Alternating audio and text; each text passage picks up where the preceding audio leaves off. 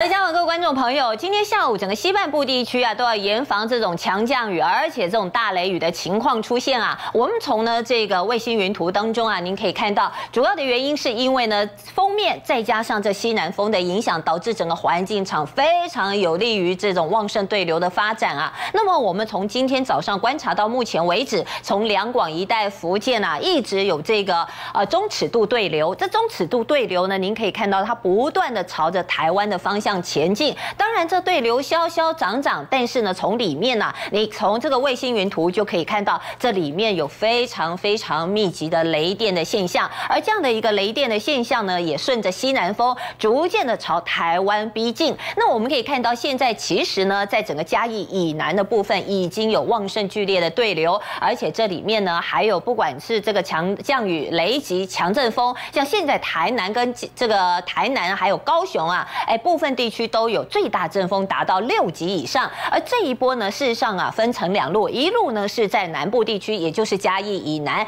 一路的话呢，甚至在早一点影响着整个北台湾。现在呢，包括了像是呢苗栗以北，哎，整个降雨的情况也是非常的。剧烈，像是现在以时雨量来看的话，在中永和的部分啊，目前时雨量都有逼近三十毫米。台南的雪甲这边的话呢，有二十六毫米，嘉义布袋也有二十五毫米。那么因此呢，伴随着雷电，我们要特别提醒了，今天下午呢，可以说是一波比较强的大雷雨的高峰。那么因此也要特别提醒低洼地区要慎防这种瞬间强降雨可能带来的积水跟淹水的情况。当然喽，今天。那这个整天应该这个雨都会一直不断的下下去。由于这个对流啊，整条线一进来的话，包含的这个密集的雷电，因此从下午甚至到晚上都还是会有持续性的豪大雨。我们从雨区预报当中呢，就特别提醒您了，今天的白天跟今天的晚上，以这一波降雨来看的话，降雨的热区啊，首重在这个中南部地区，尤其是在嘉义以南的部分，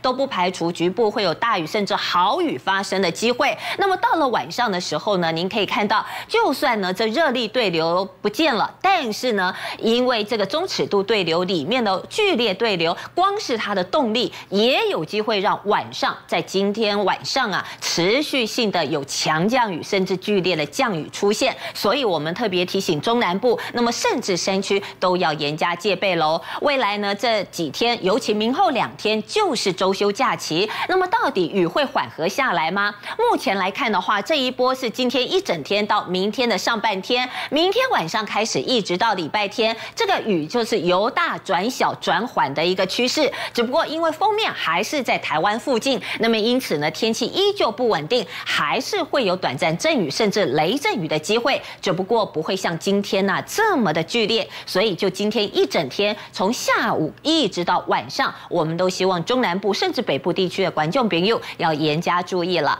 时间再交还给嘉婉。